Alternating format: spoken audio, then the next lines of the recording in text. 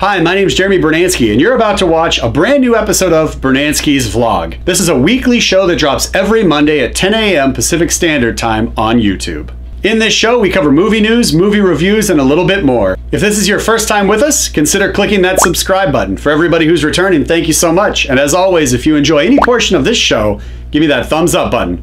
Let's go ahead and cut now to this week's episode.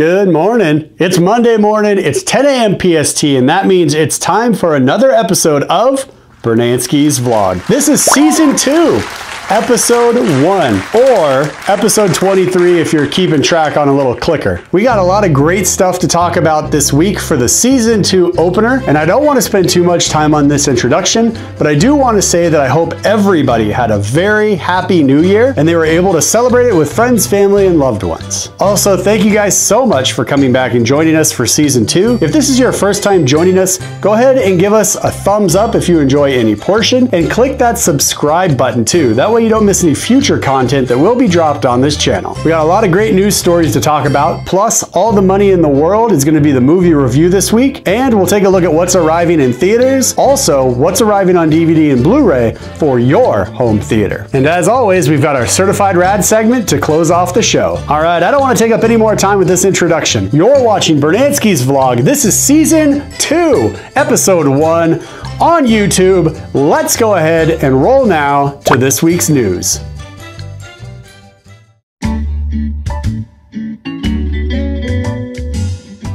In the news, 2017 saw a 25 year low in movie attendance. At the same time, Disney crossed $6 billion worldwide, and Dwayne The Rock Johnson saw Jumanji Welcome to the Jungle cross $200 million in the domestic box office. So, what does this tell us? This tells us that while ticket sales were down and people were getting out to the theaters less in 2017 than in the past 25 years, it still didn't stop them from going back and revisiting the movies that they really, really enjoyed. Disney did have some big hitters drop over the last year because Disney includes movies like Beauty and the Beast remake, it includes Star Wars, it includes the Marvel movies. So Disney was poised to have a great year regardless because so far the films that they're dropping have really been hitting it out of the park. Some films have had mixed reception, so The Last Jedi, Ant-Man, there are these movies that drop where people are like, meh, yes or no, and we get into some spirited debate online about it. But collectively, the majority of films that Disney drops are pretty well received. And it really shows when you have people showing up less for more films, but showing up more for the films that they're enjoying. That really speaks to the product that Disney is delivering consistently through not only the brand name of Disney, but also through the subsidiaries that roll up to Disney, such as Lucasfilm and Marvel. Also, Sony stepping in with a big way when they had Jumanji Welcome to the Jungle. Now, previously, The Rock has seen a lot of box office success in the Fast and Furious franchise. However, this is really his first solo venture that's really catapulted itself this quickly to overtake the $200 million spot. And for me personally, I really enjoyed Jumanji Welcome to the Jungle. I actually enjoyed it more than I thought I would. And if you saw my recap, the best films of 2017, I mentioned that as one of my top 10 films of the year because of how well the story delivered on what I believe it wanted to deliver on. So if you haven't seen that, I'll go ahead and throw the card up right here and you can just go ahead and revisit that episode, which was a Facebook live stream, and you can just revisit the best of 2017 in film as far as this channel was concerned with my vote. But overall, I don't really think that this is like a precursor to a doomsday scenario for theater going because again, we all went out to see the movies we wanted to see and then we went back to see those movies again. Now, yes, maybe we didn't get out to see as many films collectively as studio heads would have wanted us to, but when the studios delivered a really great, engaging story that was fun or scary because it made a lot of money and that was not a fun movie. That was a scary horror film and that still made a ton of money. So it didn't really matter if it was a horror film, if it was a fun family action film, if it was a science fiction space odyssey like Star Wars, or whether it was something like an Avengers film or, you know, just any number of the Marvel characters. We still enjoyed these films because they told the stories really well. And then we said, we're going to go back and we're going to keep supporting these films because they told the stories so well. Something in those stories resonated with us as an audience, and then in turn, we gave our hard earned dollars back to the studios via ticket sales. But maybe we didn't get out to see, you know, 100 films. Maybe we only saw 50, but we saw those 50 films two or three times in theaters. That's kind of what it's looking like. So I don't see this as a doomsday scenario for theater going.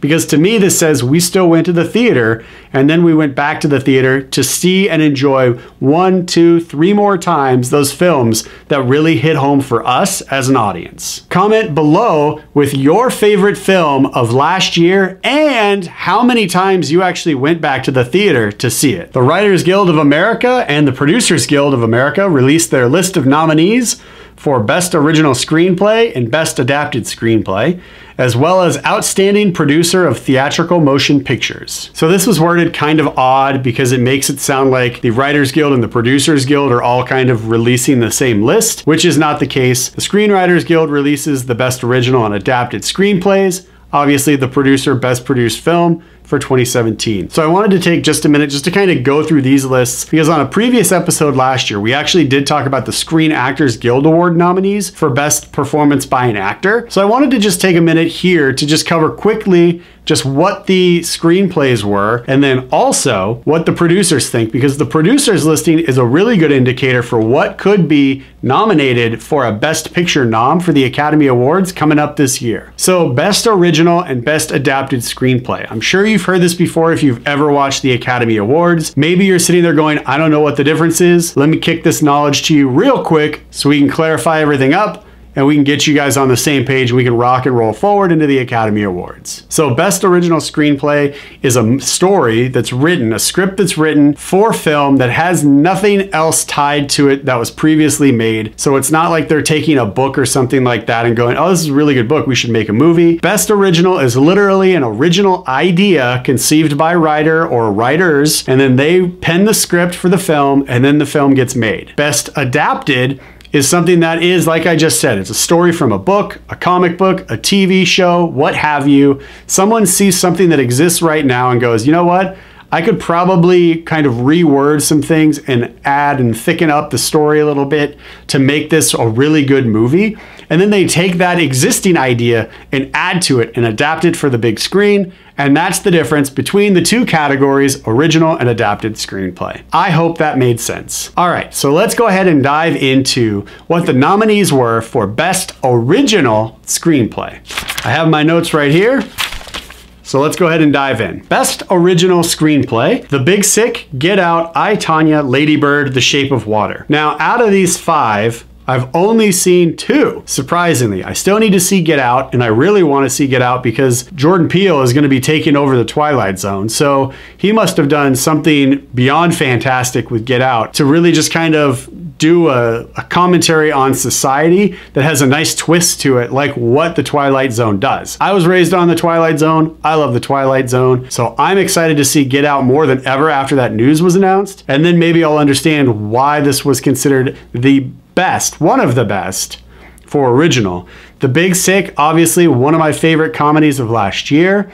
And The Shape of Water was hands down my favorite film of 2017. So no surprise that I'm on board for The Shape of Water. Let's go ahead and comment below if you have an opinion on those five films and which one, if you saw them all, or maybe you just saw one of them, which one you think deserves the award. Comment below. Best Adapted Screenplay. Call Me By Your Name, The Disaster Artist, Logan, Molly's Game, Mudbound. Now, for those of you who are going, what's Mudbound? Mudbound had a limited release in theaters because it's a Netflix film. So what they did was they said, we want to get awards consideration, and in order to do that, you got to be released in theaters. So they did a limited release for theaters so that it actually can be considered for awards season, and that gamble paid off because they just got nominated for Best Adapted Screenplay. So that's on Netflix. Check it out. I haven't seen it yet. I need to now that I know it's nominated for sure.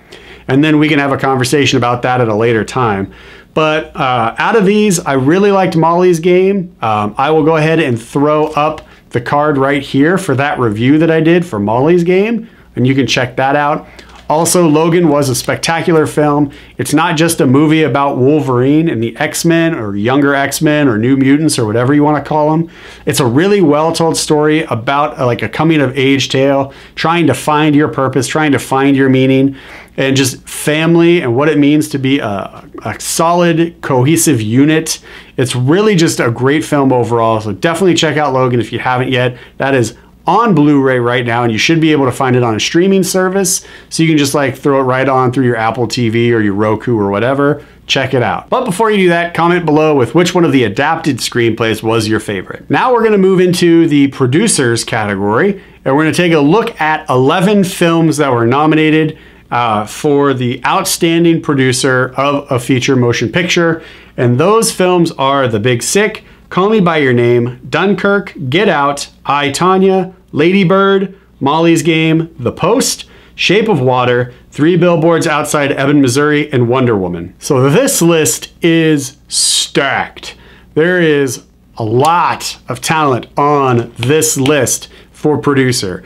Now, most of these films, I did not see Call Me By Your Name. I did not see, as we said, Get Out. Still waiting for I, Tonya, and I still want to see Lady Bird and The Post. The rest of them, Big Sick, Dunkirk, Molly's Game, Shape of Water, Three Billboards, Wonder Woman. There's so much great film on this list right here that it's just, I look at this and I go, wow, this is a competitive category because you can say what you want about films in 2017, like if you liked them or you didn't like them. The truth of the matter is, from my opinion, 2017 had a lot of really great movies drop, and this list right here is the shining example of that fact. So if I had if I had to pick one, obviously I'm picking The Shape of Water. I think The Shape of Water is just a brilliant film and if you haven't seen The Shape of Water yet, I definitely recommend you check it out. Guillermo del Toro steps up to the plate and hits a grand slam with this film. It's so good. I think this is going to be his swan song. 20 years from now when people look back at film, I still think The Shape of Water is going to be talked about and people will always remember what Guillermo del Toro did with with this film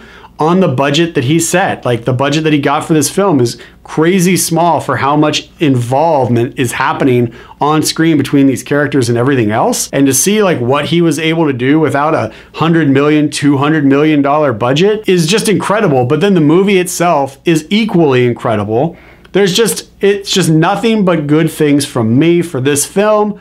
I recommend it. Was my favorite film of last year. The Shape of Water is a film you should absolutely see on the big screen in a room full of strangers that all love film. But I understand that all art is subjective. I've grown up in the arts. I get it. What I may love, you may hate, and vice versa. No big deal. Water off my back. Comment below with what you think out of these 11 films was your favorite of the year. Again, Big Sick, Call Me By Your Name, Dunkirk, Get Out, I, Tonya, Ladybird, Molly's Game, The Post, Shape of Water, Three Billboards Outside Ebbing, Missouri, and Wonder Woman. Patty Jenkins, the director of Wonder Woman, said that Wonder Woman 2 will be a different film that's a totally new adventure. What I think she's saying here is that it's not really going to be holden to a sequel, right? The term sequel usually means like you've got to adhere to certain things. And what I like about the Wonder Woman character is in all of her appearances so far, whether it is in Batman vs. Superman, Wonder Woman, or Justice League, the core of who Wonder Woman is isn't changing. And Patty Jenkins actually goes on to talk about how there are certain things that Wonder Woman won't do. And that's specific to who she feels that she is as a character and kind of what that character is going for and what the character is trying to achieve as far as like all of humanity and all of the human race is concerned. And I really like that. So when I hear these comments, I'm not sitting back there going, oh, great Continuity's going out the window. Nobody knows what's going on. It's going to be so different. It won't even make sense. I don't think that's what she's talking about. I just think she's saying, look, this is going to be the second Wonder Woman film. It's not going to be Wonder Woman 2. It's going to be the second Wonder Woman film. It's going to take place in a different time period. She's already said that's what's going to happen. My big concern with this is how is it going to play into continuity of who Diana was in the Justice League? Because this is where things start to get a little hairy as far as timelines and writing go. Because we have the character of Wonder Woman, Princess Diana, whatever, in Justice League, and we know who she is at that time. But to get to that time, she had to go through all of these decades, all of these generations of war that mankind has brought upon itself, right? So when you look at where she came from World War One, World War Two, the Korean War, Vietnam, Cold War, everything that's going on in the Middle East, and it's just one war after another. And so you have to look at her timeline and go, well, if she's kind of been like in hiding but trying to like do things through like subversive means. So she's almost been like a James Bondian Wonder Woman. And that's why like maybe she, it feels like she disappeared for all those years is because she didn't, but she, instead of just running around in her, you know, star spangled outfit, kicking booty, maybe she was like, actually, I'm going to take a more subversive approach to this and try and be more kind of like a spy and do more espionage than just running around with a sword and shield beating people up. I don't know what this is going to have, if it's going to be a Cold War, Korean War, if it's going to have something to do with Vietnam. All we know is that it's going to be taking place at a different time than what it took place in the first one, and it won't be present day like what Justice League was. So where it gets a little hairy for me is going, okay, well, how are we going to make sure that this film doesn't really like screw up everything? And if it is going to screw up everything, as far as story goes, like at least make the screw up so big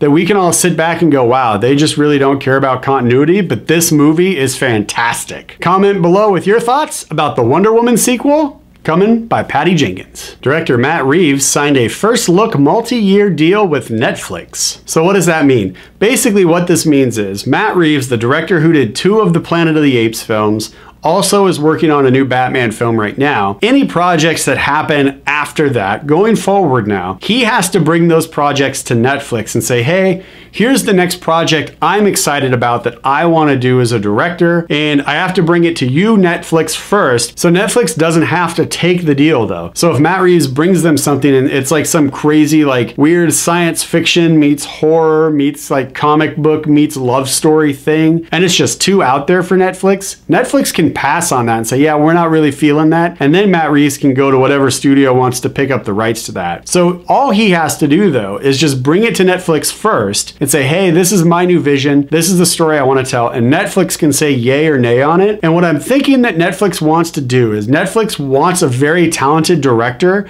in their stable for going forward for films that they can have some uh, they can have some security with where they're looking at films and they're going this guy knows how to tell really good compelling stories and he has a really good name as a director. So when you hear matt reeves is directing a film myself i'm sure you if you're watching this that means you're a movie fan your curiosity goes up and you get a little bit more excited because you're like oh matt reeves does a really good job. And i think that's the attitude that netflix wants when you hear matt reeves next picture on netflix. They want to elevate themselves to a position that isn't just like, oh yeah, it's that streaming service we pay monthly. But I think Netflix really wants to get their foot in the door and really be a strong competitor as a film studio so that when you hear the term Netflix movies, you're not just thinking like, oh yeah, a movie that was done by some other company that I can watch on Netflix. But you get excited because you're like, wow, Netflix has really been knocking it out of the park with some of their original content. And I think bringing someone like Matt Reeves into the stable like that, where they have first approval on a film that he wants to do, is really going to help them and really going to position them on the chessboard to have strong original content, which I desperately think they're trying to achieve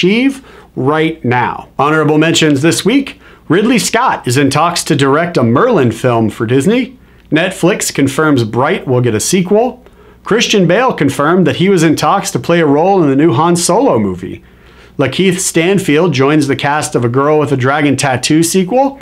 DeWanda Wise joins Brie Larson in Marvel's Captain Marvel. All right, and that is the first news segment of 2018. Thank you guys so much for joining me through the news this week on the very first episode of 2018 here on Brunansky's vlog. This is season two, episode one. Very exciting. I feel it's very exciting. Do you feel it's very exciting? I'm sure you do. All right, let's go ahead and move now into the next segment, which, if you're familiar with the show, you've already mentally prepared yourself for what's about to happen. If you're brand new to the show, this is the movie review segment where we give thoughts about films currently in theaters that I had an opportunity to get out to see for you guys on this channel. Let's go ahead and roll to the movie review segment right now.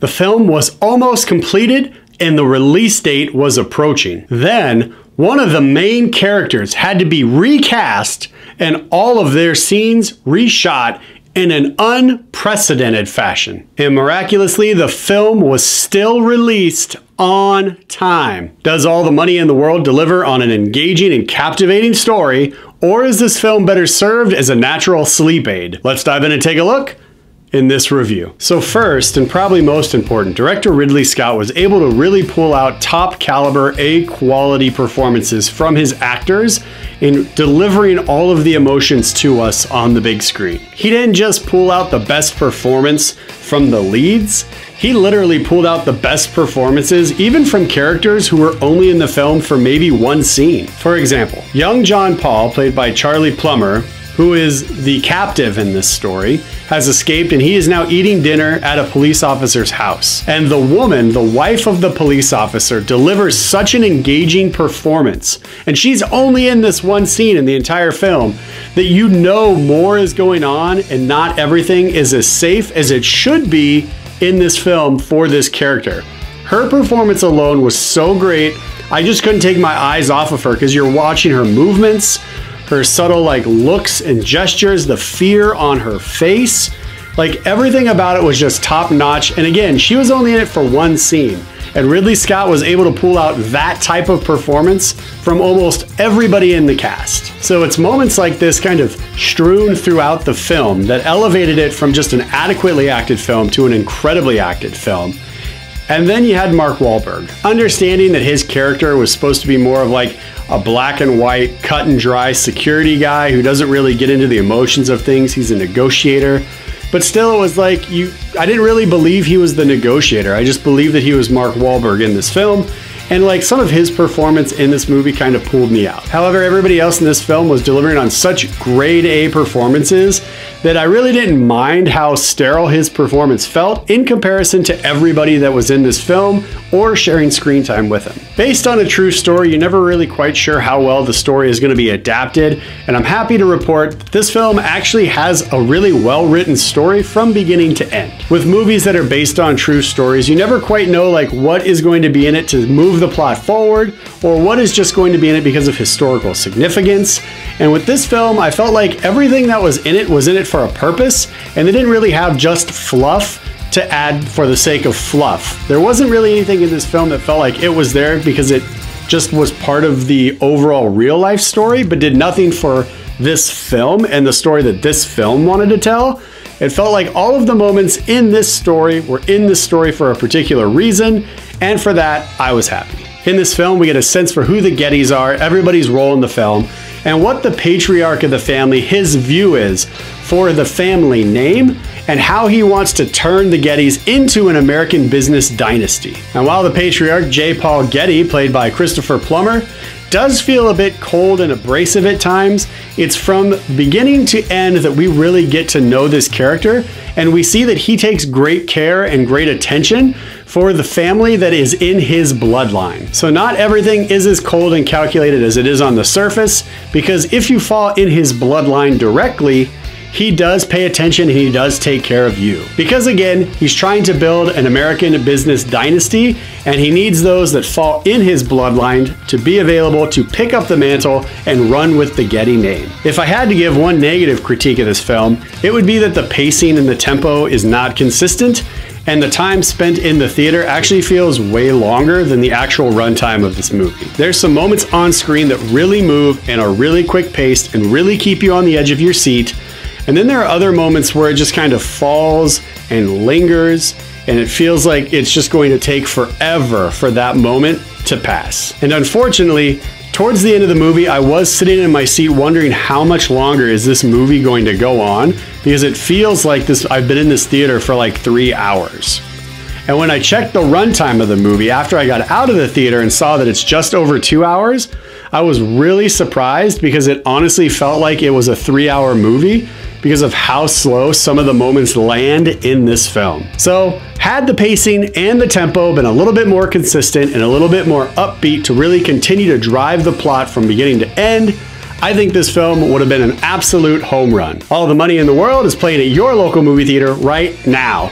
And I'm not actually going to recommend a big screen viewing for this film. While I do feel that you should actually check this film out once it's available on a streaming service, or you can actually rent it from a Redbox, I definitely suggest checking it out there because I don't feel like you're going to miss anything in this movie from watching this film in the comfort of your own home. It's a very well acted film that does drag on at times throughout the story. However, it does deliver on showing us what it would be like to be alive and to have all the money in the world. And because it does drag on at times, I am only going to be able to give this film one high five. All the Money in the World is playing at your local movie theater right now. Check it out.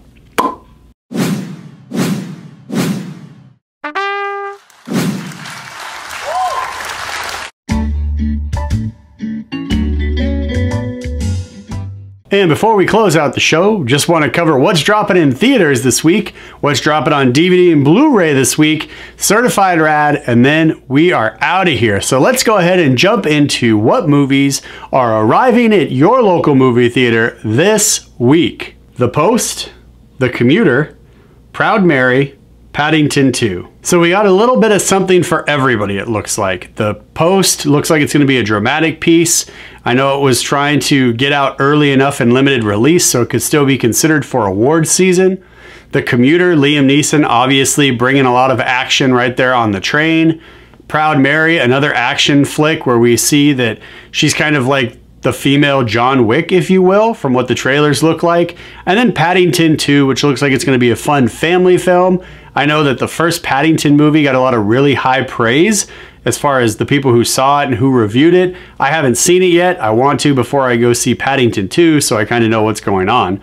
But if you saw Paddington, uh, go ahead and sound off below in the comments with your thoughts about the first one and if you're excited to see the sequel. All right, let's take a look at what's coming out for your home theaters this week. On DVD and Blu-ray this week, Marshall, the Foreigner, American Made, My Little Pony the movie. Again, just like what's arriving in theaters, what's arriving for your home theater is a pretty good selection.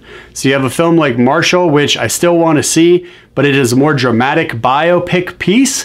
And then you have The Foreigner, which is a fantastic action flick with Jackie Chan. Now that it's on DVD and Blu-ray, if you missed it in theaters, definitely check it out. American Made, also kind of a biopic based on a true story. It's kind of action, it's kind of spy. Uh, it goes up, it goes down. It's an okay movie, but definitely going to be more enjoyable at home. So check that out now that it's on Blu-ray. And then My Little Pony the movie, I'm sure my nieces will be very happy that this is out on DVD and Blu-ray because they love My Little Pony. All right, that is it for what's dropping on your DVD and Blu-ray shelves this week. Let's go ahead and move now into the final segment, which is Certified Rad. All right, so for the very first certified rad of 2018, had to do a little research, try and find something online that really was, you know, big and awe-inspiring. Certified Rad, for those of you who aren't familiar with this segment, this can be anything. It could be a tech gear review, it could be a book review, it could be people helping people. It doesn't really matter. If I find it, if someone sends it to me and they're like, check this out, and I read it and I'm like, that is most definitely Certified Rad, we're gonna highlight it in this segment on the show. So for this week's Certified Rad, Season 2, Episode 1, first Certified Rad of 2018, we are going big. How big? I'll tell you. So Cole Hamels and his wife Heidi have been trying to sell their mansion for some time. How big is this mansion? It's over 100 acres and it's selling for over $9 million. And they really haven't been able to find somebody in the market at that level who really wanted to pick this up.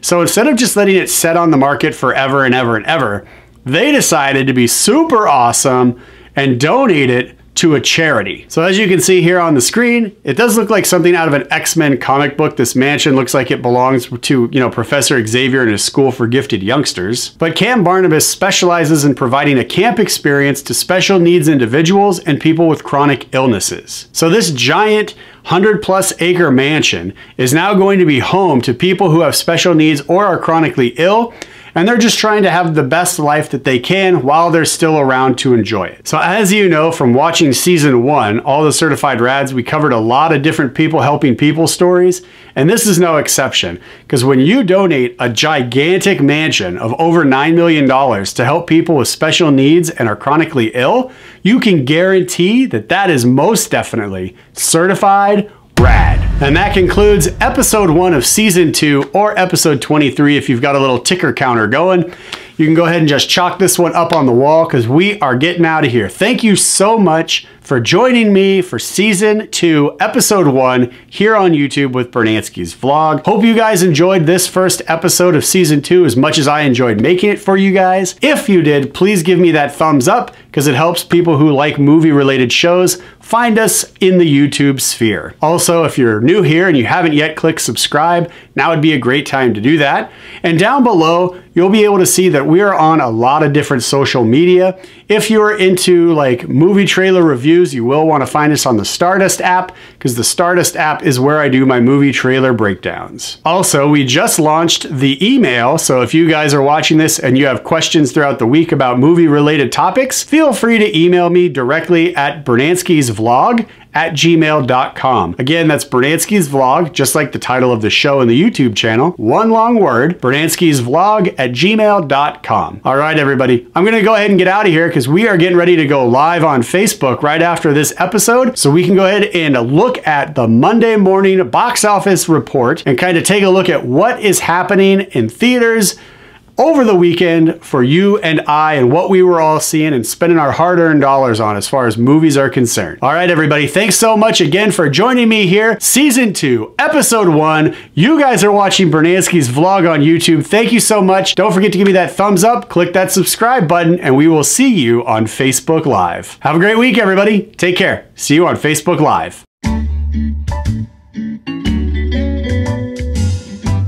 Hi, I'm Jeremy Brunansky, and you've just finished watching another episode of Brunansky's Vlog. Along with the weekly show, we also have special segments, as well as DVD and video on demand reviews that you may want to check out. Thank you so much for watching this brand new episode, and we'll see you next Monday at 10 a.m. PST for another brand new episode of Brunansky's Vlog. Have a great week, everybody. Take care. Bye bye.